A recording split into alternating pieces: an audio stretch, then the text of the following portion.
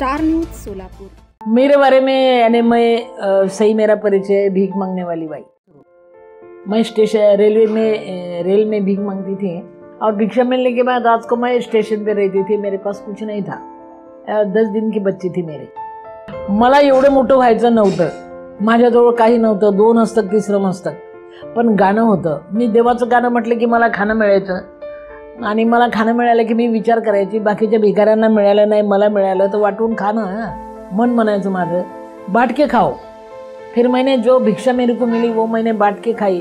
जिसको मैंने खाने को दिया, वो मेरे को छोड़ के नहीं गए बाबा तब मैं सोचती कि मेरी ज़िंदगी मेरी है क्या? ये जो मेरे को खाना मिला, वो मेरे लिए है क्या? बांट के खाओ। और भी दुख है। चलो, अपना दुख लेके घूमने से और दुखों के लिए तुम काम करो। और फिर मैं अनाथ थी तो अनाथे के लिए काम करना शुरू किया। यहाँ तक आ गई। अभी तो चार तुम बांट के खाया ना तुम्हारी भूख चली जाती है बेटा। मैंने वही किया।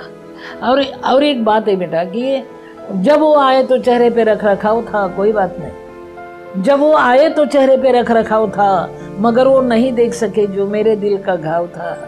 अपने कलेजे के घाव अपने को मालूम होते बेटा वो किसको नहीं समझते।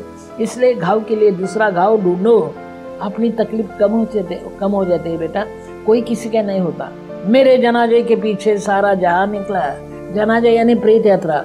मेरे जनाजे के पीछे सारा जहाँ निकला मगर वो नहीं निकले जिनके लिए जनाजा निकला किसकी राह देखते हैं? चलना सीखो, मगर चलते चलते पीछे मुड़ना भी सीखो, बेटा। कहाँ थी? कहाँ तक आ गई? ये सोचो। मैंने वही किया ना।